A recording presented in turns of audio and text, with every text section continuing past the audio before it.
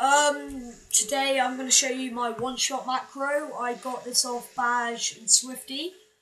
Um, I'm with Motzi, but um, I'll show you the macro now. Alright, so this is what I put.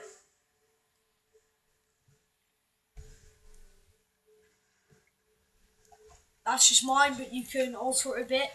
But anyway, guys, I'll show you my damage now. This will be quite a short video, so um, please enjoy.